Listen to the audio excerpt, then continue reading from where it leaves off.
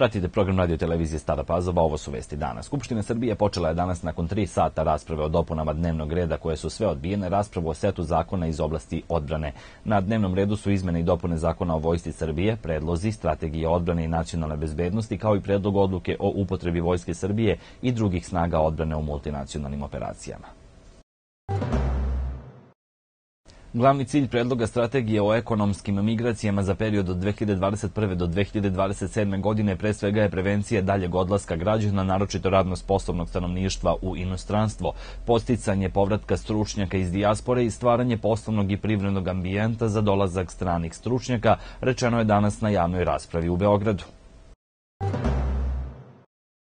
Gradonačelnik Novog Sada Miloš Vučević i ministar zdravlja Zlatibor Lončar potpisali su četvrtu godinu za redom ugovor o donaciji grada Novog Sada budžetskom fondu za lečenje oboljenja koja se ne mogu lečiti u Republici Srbiji. Budžetski fond je osnovan kako bi se obezbedila dodatna finansijska sredstva za lečenje pacijenata za koje Republički fond za zdravstveno osiguranje ne može da obezbedi dovoljan iznos od uplate doprinosa za obavezno zdravstveno osiguranje.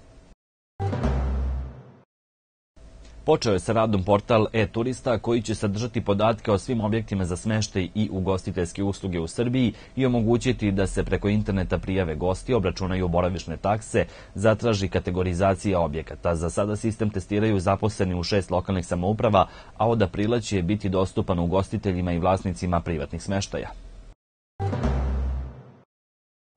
Stara Pazova našla se među 18 lokalnih samouprava u Srbiji koje su uspešno prošli ili prolaze kroz proces sticanja certifikata o povoljno poslovnom okruženju u jugoistočnoj Evropi. Njima je obezbeđena kvalitetnija i brža usluga lokalne administracije za oko 97.000 preduzetnika i preduzeća i gotovo 1,8 miliona građana koji u njima posluju i žive. Njihovi predstavnici razgovarali su danas sa ministrom državne uprave i lokalne samouprave Brankom Ružićem i rukovodstvom Naleda na okruglom stolu opštine i gradovi po meri privrede o iskustvima prolaska kroz kroz proces certifikacije koja bi mogla da pomognu drugim lokalnim samoupravama da steknu ovaj pečat kvaliteta i na taj način unaprede uslove poslovanja. U Srbiji je program certifikacije opštine sa povoljnim poslovnim okruženjem startovao 2008. godine kao jedinstvena inicijativa za poboljšanje kvaliteta usluga i informacija koje lokalne samouprave pružaju privredi. Kvalitet programa su prepoznali i partneri u regionu s kojima je 2012. godine razvijen prvi zajednički regionalni standard povoljnog poslovnog okruženja. Do sad su 50 24 lokalne samouprave iz Hrvatske, Severne Makedonije,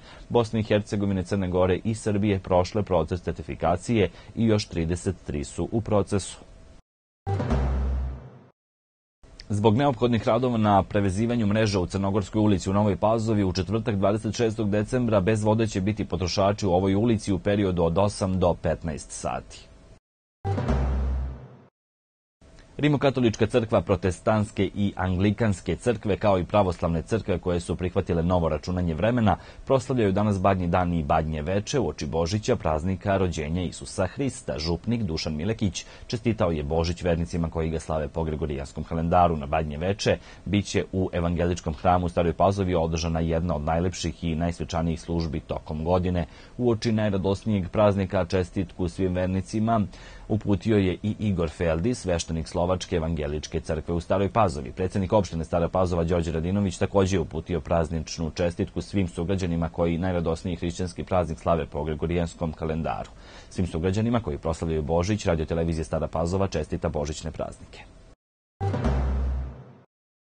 Školarci su od danas na školskom raspustu i tako će biti do 14. januara. Poslednji školski dan učenici nižih razreda u Novim Banovcima proveli su u prazničnom raspoloženju. Za oko 600 mališana iz Podunavlja organizovana je dodela novogodišnjih poklona, a najmlađi su imali priliku da sa svojim vršnjacima u prazničnoj atmosferi ozvanične početak zimskog raspusta. Po prvi put, zahvaljujući donatorima, obezbeđeni su pokloni za oko 170 preškolaca iz starih i novih Banovaca, Surduka i Belegiša. Roditelji učenika od prvog do četvrtog razreda u Novim Banovcima četvrtu godinu zaredom izdvojili su sobstvena sredstva ne bili obradovali svoje mališane. Dodala novogodišnjih poklona organizovana je u sali Novobanovačkog doma kulture gde je tokom dana izvedeno nekoliko novogodišnjih predstava. Košarkaši Dunava na Pragu su da ponove istorijski uspeh i da još jednom e, nađu se u društvu najvećih srpskih klubova u borbi za kup Radivoja Koraća. Potrebna im je još jedna pobeda i to u polufinalnoj utakmici drugog stepena kupa u kojoj sutra od 19 sati u Hali Park dočekuju ekipu Slobode iz Užica, koja se trenutno nalazi na drugoj poziciji u Košarkaškoj ligi Srbije. Užičani su svakako favoriti, ali iz redova Alasa verujemo da uz dobru igru, požrtvovanost i uz veliku pomoć navijača dođu do novog podviga. Pre četiri godine u svojoj debitanskoj sezoni u prvoj ligi Dunav je bio učesnik završnice nacionalnog kupa, učesnik kupa Radivoja Koraća, a u četvrtfinalnoj utakmici Dunav je tada igrao sa Partizanom u Nišu u hali Čajer pred više od 4000 gledalaca.